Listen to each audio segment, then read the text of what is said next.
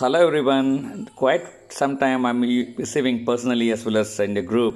So it's difficult for us to do composting. We don't have a backyard. I don't have a balcony, and uh, it's it's bit of you know it's difficult for us to you know like uh, keeping the items, uh, the vegetable fruit waste for some time, all those stuff. So for those people, uh, here is the ultimate solution.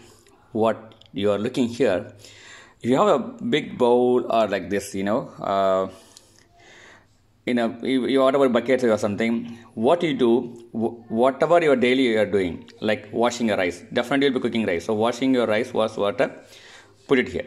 Then your vegetable waste like here look at the thing carrot is there watermelon is there lime crust i mean that uh, the skin is there banana is there onion there garlic.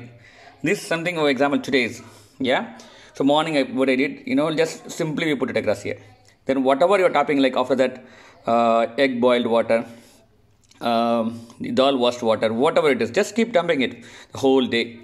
So let it sit it for the overnight. And next day morning okay you can remove all this thing and put it in the dustbin or you can do the composting.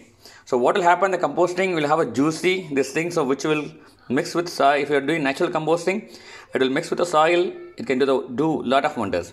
But here if you don't know i don't want to do that and uh, you know then you can simply uh, even you know you can leave that and you can throw it up. So but it will be helpful if you have something in the uh, balcony.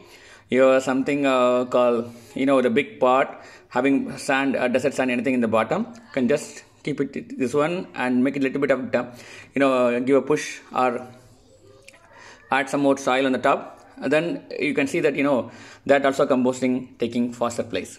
So this water when you feed early in the morning you can see the lot of resistance even the extreme hot summer lot of resistance nice growth everything happening around. So just for you once again hope you enjoyed. Thank you